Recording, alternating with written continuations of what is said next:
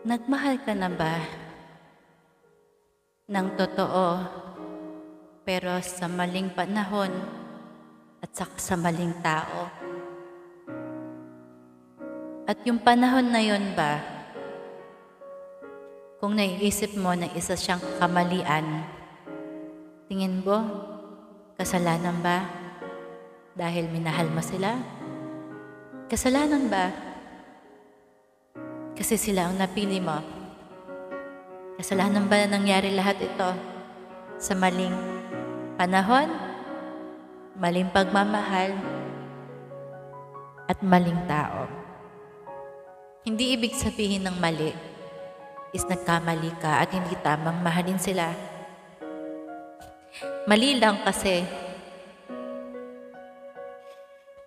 nabigay mo yung tamang pagmamahal ng buong buo sa taong mga hindi naman para sa'yo. At walang masama doon.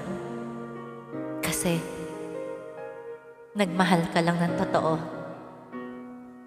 Yung alam mong parang iniisip mo, bahala na. I think tama naman itong ginagawa ko.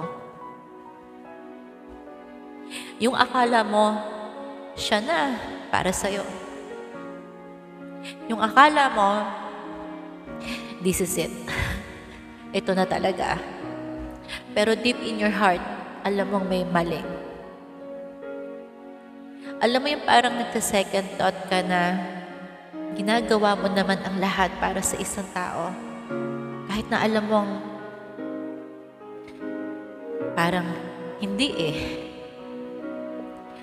Alam mo yung parang bothered ka kasi nagdadalawang isip ka na hindi ka panatag. You're not at peace. Tapos doon mo nare-realize na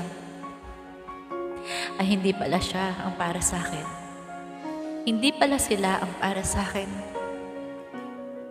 Pero alam mo ba, ang naging aral sa akin, kahit kailan walang bawal sa pagmamahal. Kahit kailan walang mali at wala kang kasalanan, lagi kong inuulit yan. Ang hindi lang okay is hindi nga siya ang para sa'yo. Walang maling panahon sa pagmamahal. Kahit hindi ka ready, kahit ready ka, buo ka o kalahati ka man, masaya o hindi. Pero pag ang tamang tao ay pumasok sa mundo mo, boom, doon ka na lang tatamaan. Para sa akin, kahit ang daming, ang daming pasakit, kahit na ang daming beses na nagmahal ako sa maling tao, hindi ako susuko. Kasi alam ko na may para sa akin. Kaya lang ako naiiyak. Kasi minsan iniisip ko, sayang, no? Grabe yung pagmamahal ko sa mga tao. Pero, mga mali naman sila. Kaya, hindi pa rin ako napapagod sa dawan ko. Kasi, kung grabe ako magmahal sa isang tao, paano pa kaya kung tama na to? Yung tamang tao para sa akin. For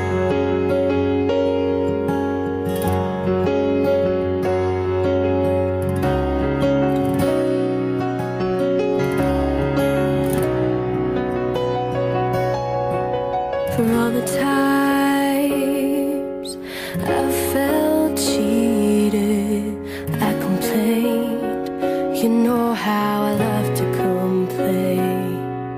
For all the wrongs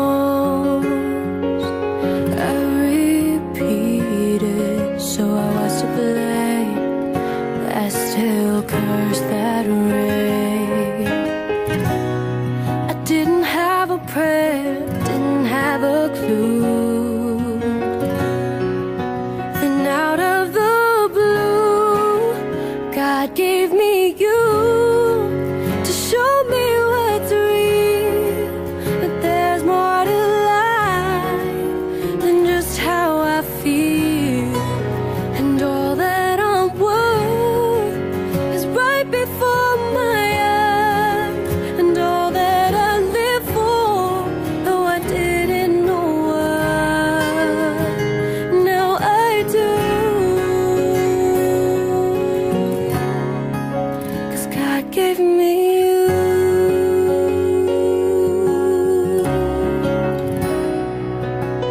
For all the times I wore my self pity like a favorite shirt, all wrapped up in that hurt.